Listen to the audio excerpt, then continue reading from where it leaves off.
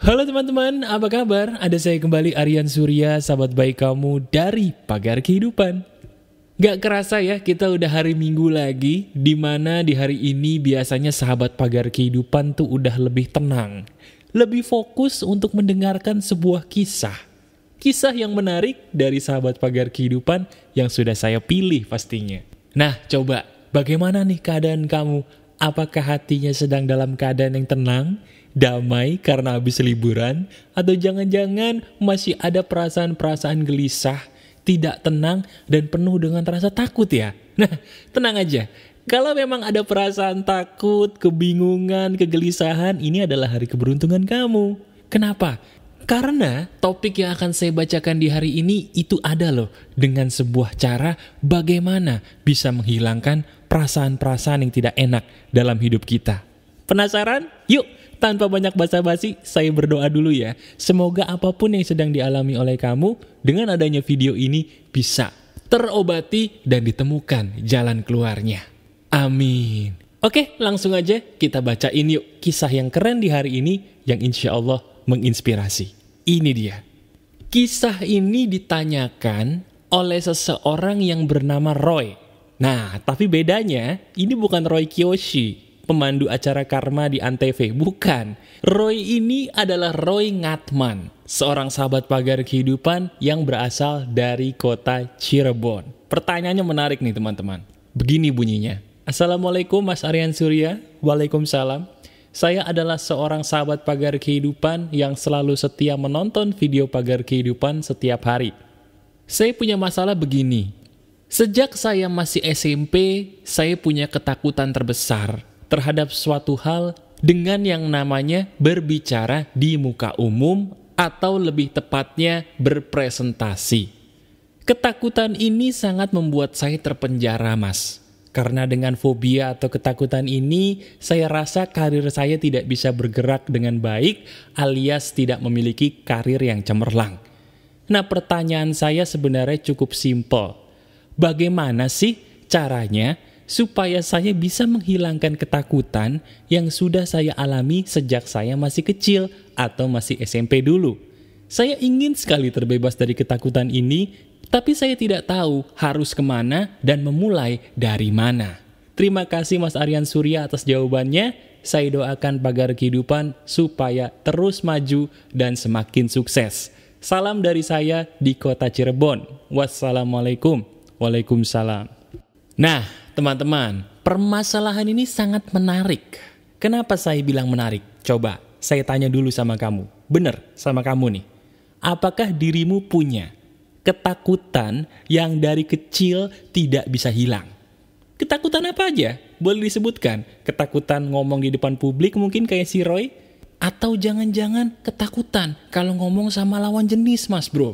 Ayo, jujur. Ada nggak ketakutan-ketakutan yang tidak normal yang ada di dalam diri kamu, tapi bingung bagaimana sih cara menghilangkannya. Pasti ada ya. Nah coba deh, sekarang sambil saya memberitahu bagaimana caranya, tulis di bagian komentar. Saya ingin tahu ketakutan-ketakutan apa sih yang kamu alami yang sampai detik ini mungkin belum bisa hilang. Coba kamu share di komentar ya. Nah sekarang gini, saya juga sama seperti kamu teman-teman, punya ketakutan yang menurut saya itu tidak normal. Seperti yang saya bilang kepada kamu, dulu percaya atau tidak, saya adalah orang yang tidak bisa pandai berbicara. Sekali lagi, tidak bisa pandai berbicara.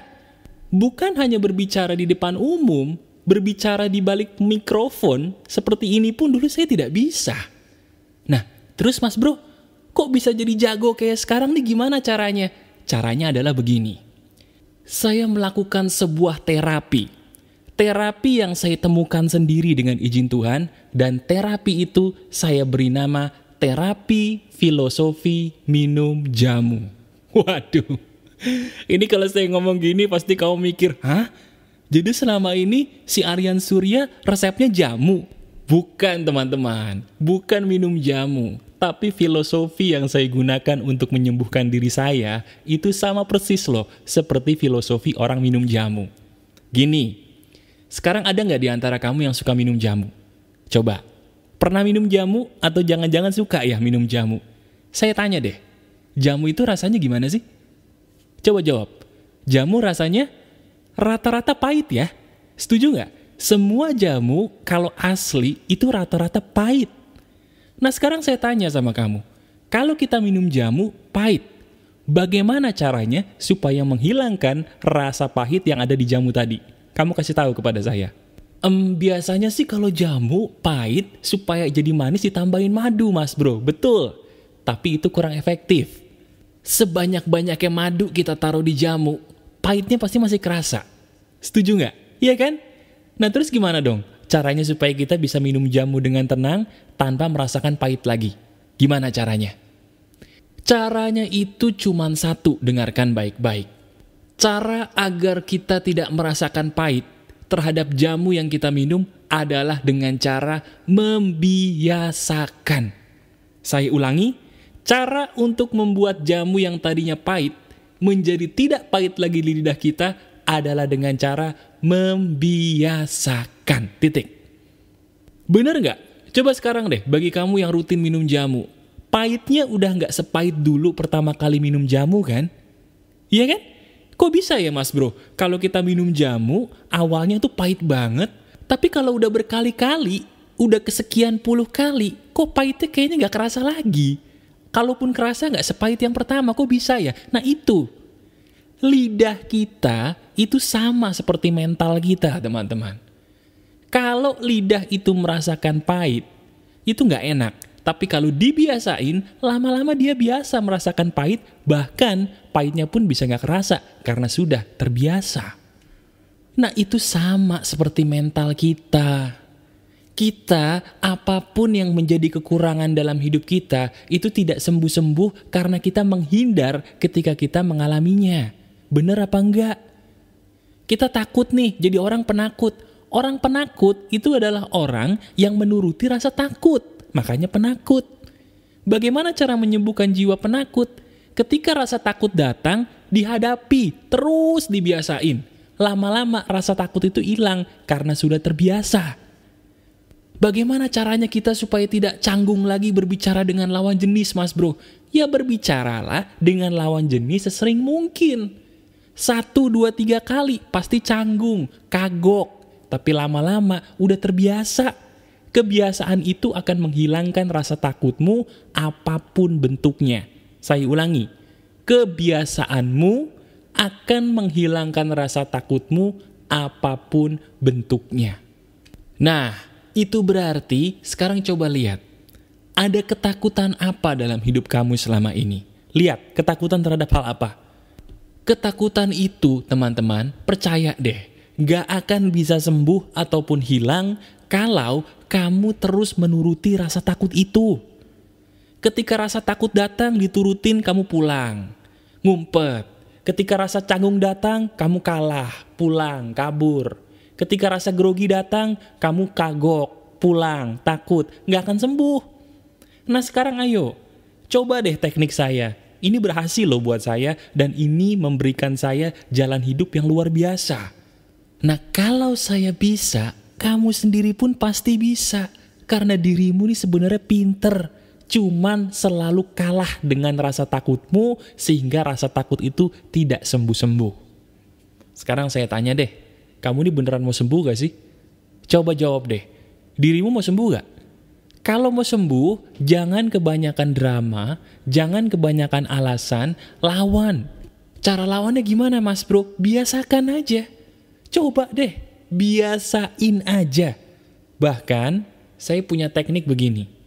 Kalau selama ini kamu menghindari canggung, kalau selama ini kamu menghindari takut, kalau selama ini kamu menghindari sesuatu hal yang membuat kamu tuh menjadi grogi, sekarang coba deh, tantang diri kamu untuk malah mencari hal-hal yang selama ini kamu hindari atau kamu takuti.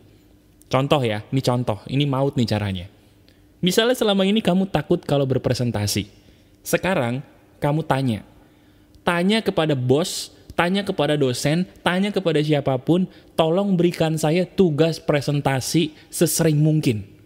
Semakin dirimu menantang, sesuatu hal yang kamu takuti, semakin cepat dirimu sembuh. Saya ulangi ya. Semakin dirimu menantang suatu hal yang kamu takuti, kamu akan semakin cepat sembuh. Coba lakukan deh. Pasti saya betul. Ini juga pernah terjadi loh sama teman saya. Jadi gini, teman saya nih dulu jomblo banget. Ini udah lama ya teman-teman. Saya punya temen cowok, dia jomblo. Begitu ditelusuri, ternyata kejombloannya itu karena dia terlalu banyak pikiran ketika mendapatkan respon negatif dari cewek. Contoh nih, misalnya dia deketin cewek, terus ceweknya agak-agak nolak gitu. Ini bagi teman saya, penolakan dari cewek tuh kayaknya gimana gitu.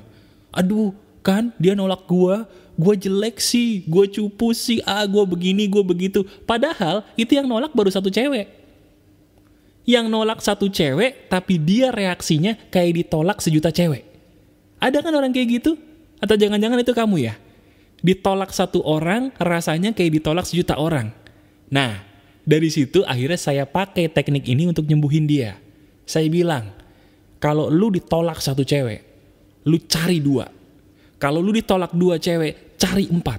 Kalau ditolak empat cewek, cari delapan. Jadi berapa orang yang nolak lu, lu kali dua. Teknik itu adalah teknik yang bisa menyembuhkan gua dari ketakutan apa pun yang ada dalam diri gua. Saya bilang begitu kepada dia sewaktu dulu. Nah, akhirnya percaya atau enggak, beberapa bulan kemudian teman saya ini langsung mendapatkan kekasih hati yang dia idam-idamkan. Hanya menggunakan teknik ini. Nah, sekarang cobain deh. Ini giliran kamu untuk mencoba teknik ini. Ada nggak di antara kamu yang sekarang sedang jomblo, pengen punya kekasih? Atau mungkin kamu nih lagi bekerja, dan pekerjaan kamu adalah pekerjaan yang butuh mendapatkan banyak klien. Agen asuransi mungkin, MLM, penjual obat herbal, penjual properti, apa pun pekerjaan kamu yang membutuhkan banyak orang atau klien, coba deh pakai teknik ini. Teknik itu adalah penolakan dikali dua. Apa namanya? Penolakan dikali dua. Berapa orang yang nolak kamu, kamu cari jumlah orang yang lebih banyak dua kali lipat dari orang yang nolak kamu. Buktiin bahwa tidak semua orang menolakmu. Nih, saya kasih tahu ya, nggak semua orang suka pagar kehidupan, tapi nggak semua orang benci pagar kehidupan. Nggak semua orang suka dengan Indonesia, tapi nggak semua orang benci Indonesia. Di dalam hidup ini selalu ada hitam dan putih, teman-teman. Di mana ada orang yang menolakmu, pasti sebenarnya juga ada orang yang sebenarnya menginginkan kamu, cuman belum ketemu aja. Sekarang pakai deh teknik ini.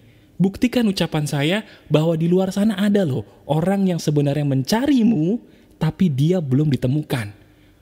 Pakai teknik ini untuk menemukan mereka, orang-orang yang sebenarnya menginginkan dan membutuhkanmu. Penolakan dikali dua. Setiap ada satu orang yang menolakmu, cari dua orang baru.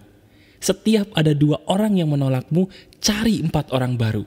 Setiap ada empat orang yang menolakmu, cari delapan orang baru. Begitu, begitu, dan begitu terus. Rasakan deh, tiba-tiba kamu akan kaget. Oh, ternyata bener ya katanya si Aryan.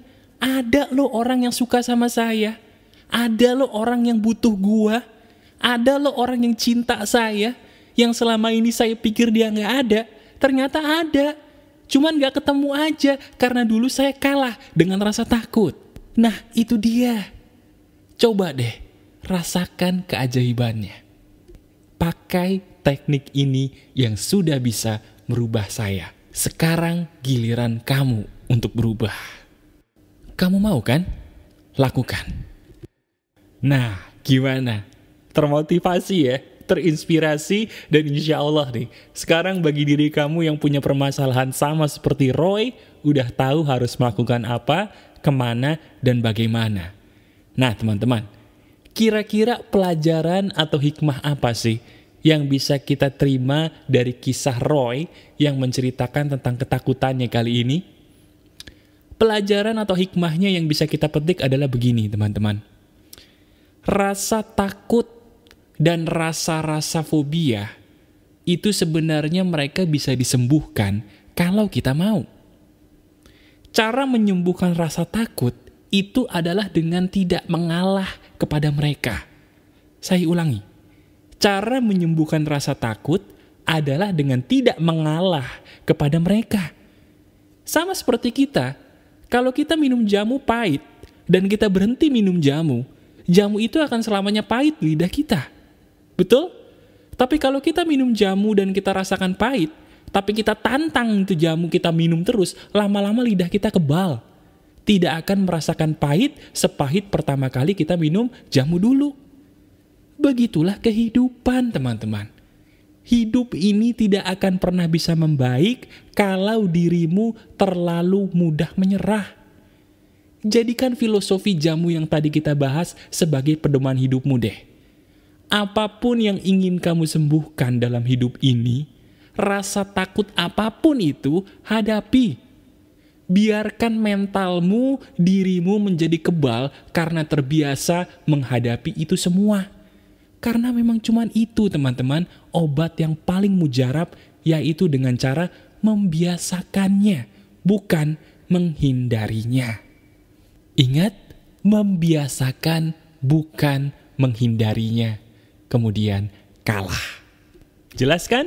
Nah, coba deh kamu lakukan. Pasti, pasti, dan pasti saya yakin banget kalau saya bisa sembuh, kamu pun bisa sembuh dengan cara ini. Selalu ingat filosofi jamu dan rasakan bedanya ya. Oke teman-teman, selamat kembali menjumpai minggu yang baru. Saya tahu nih beberapa di antara kamu mungkin ada yang baru selesai liburan, agak-agak males gitu ya buat bekerja, tapi tenang aja. Ada pagar kehidupan kok yang akan selalu menemani kamu di hari-hari esok insya Allah dengan izin Tuhan untuk menginspirasi kamu. Selamat menjalani minggu yang baru teman-teman, tetap berbuat baik, tetap menyebarkan cinta kasih, dan jangan lupa selalu mengajarkan orang hal-hal yang sudah kamu ketahui ya. Masih ada saya Aryan Surya, sahabat baik kamu dari Pagar Kehidupan. Tetap keep spirit, keep sharing, and keep loving. Bye-bye.